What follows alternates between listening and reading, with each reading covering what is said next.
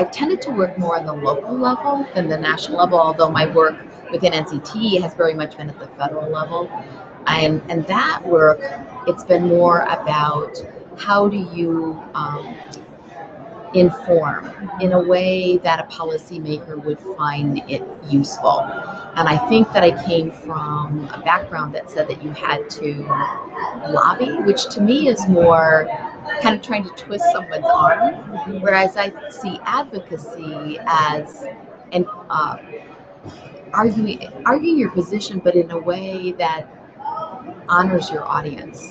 that that lets the audience know that that you know what matters to them and that you're trying to connect with them and give them information that will help them with their own decisions. So at the local level, it's been more about the advocacy skills I've been have engaged in, been more about how to engage those audiences in some of the processes that I that I hope they'll better understand uh, with the students that I'm working with. At the federal level, it's been more about informing.